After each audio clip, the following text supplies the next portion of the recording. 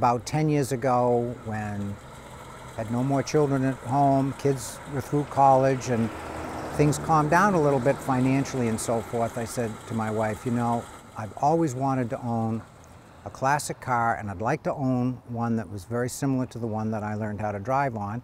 And I found this one, which is a 1950 Dodge Coronet. The Coronet was the uh, top of the uh, Dodge line and the most expensive uh, vehicle in the Dodge line. Now in 1950, you could not get any car with power steering. Most cars in 1950 did not have uh, an automatic transmission. As this car has something that is very interesting in the transmission area, a fluid drive. You still have to shift the car, just like you would a manual shift car, but with the fluid uh, coupling in place, you have the ability to take, put, the, put the car in gear, take your foot off the clutch and the car won't stall because the, the liquid coupling uh, uh, slips like a torque converter would in an automatic transmission. It starts right up normally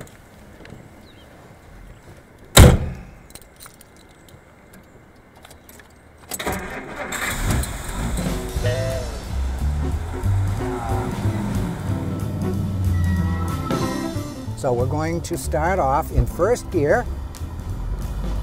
And then we're going to shift into second.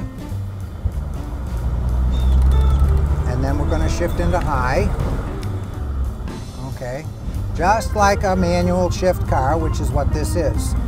The difference between this and a typical modern car is you actually have to drive this car. The typical modern car, you don't drive it.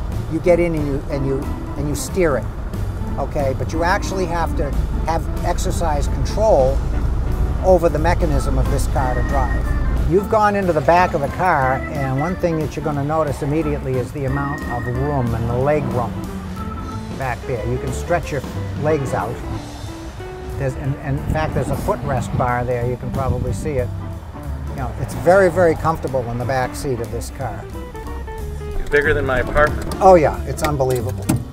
And I've got the seat about halfway back. This car listed uh, 1730 $1,730 in, in 1950 dollars.